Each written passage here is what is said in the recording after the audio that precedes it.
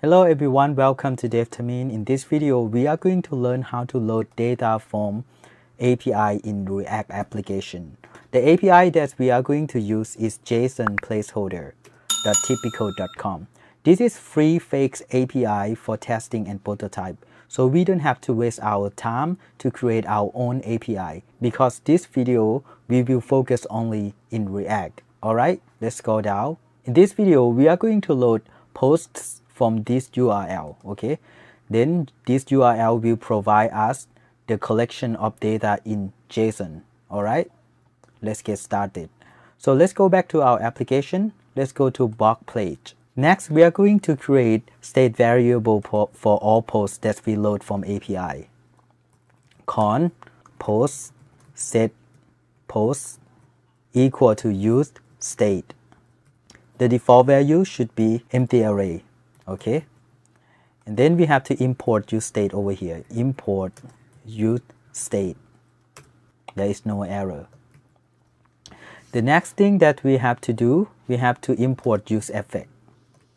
So why we need to use use effects in our application? Because use effects is used to detect our application first load. So every time there's our application load, use effect will be called. So we can declare use effects over here.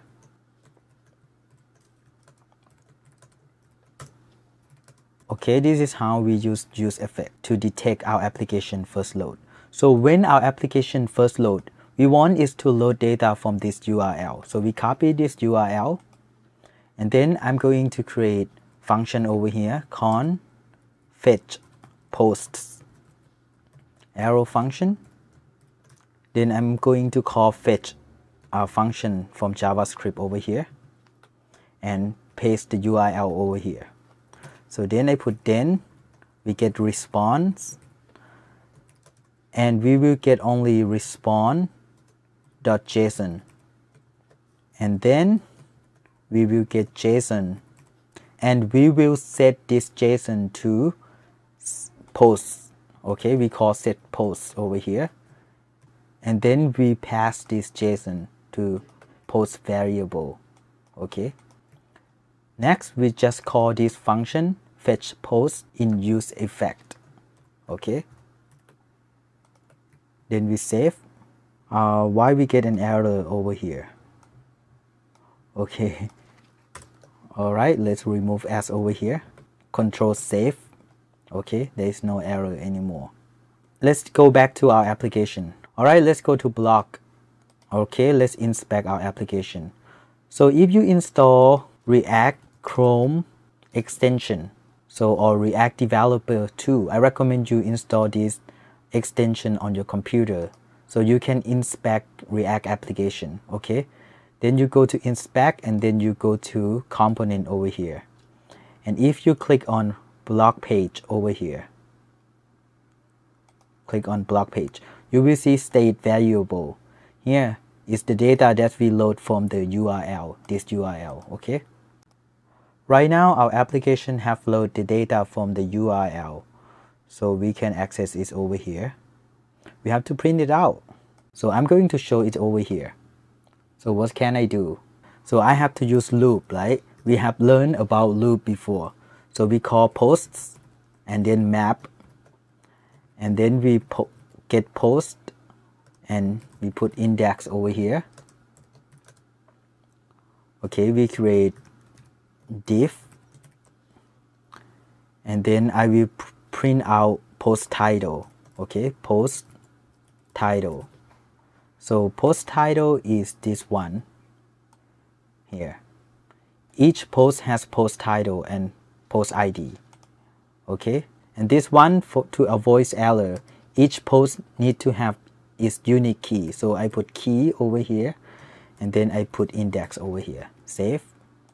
And if you go back to your application, you will see the title of each post over here okay you can put like index over here save and you will see 0 1 2 3 you will see 99 posts over here uh, if you want to show one or two three you can put like you can put uh, post ID over here save. See? Okay how about if you want to show is like its body? You can put like div over here right? And then you can show post dot body. Save. Over here I can put hr save see you see each post from the URL this URL okay fetch over here come with JavaScript so you can even use like Axios library to make your code more short and beautiful Alright, we are going to learn how to use Axios to load data in this video too. Alright, let's stop React application. Control C over here and type Y. Okay, then npm install Axios. Hit enter. So if you go to package.json, you will see Axios over here. Okay. Next, let's import Axios over here. Import Axios. Okay. So I will comment this one. We are going to use Axios instead of fetch. Okay, let me create variable con respond post. Okay, then I put Axios. I call it get, and I copy this URL over here and put this over here. Okay, this is how you use Axios. So, but you have to put async over here and you have to put await over here.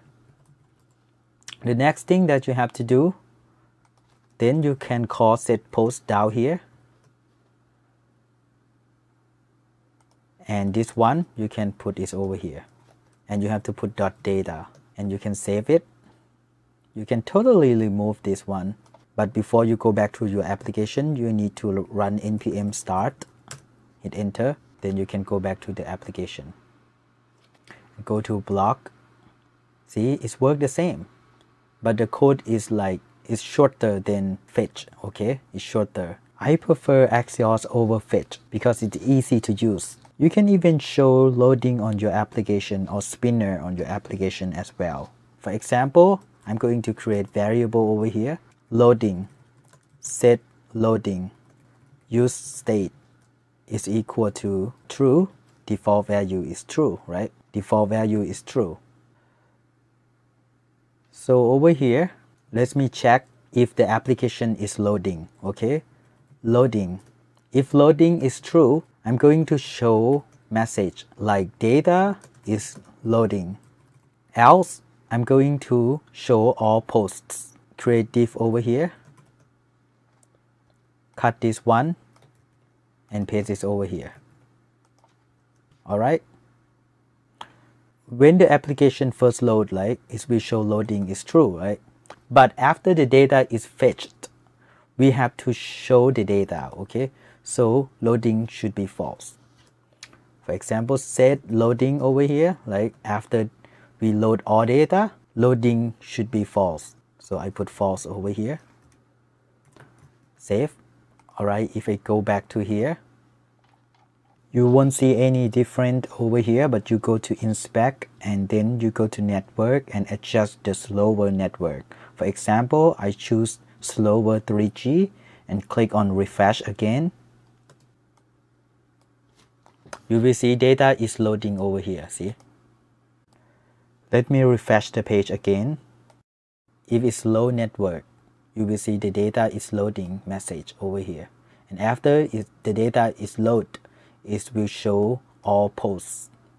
This is the last video for React tutorial for beginners. Next, I recommend you to learn from a project.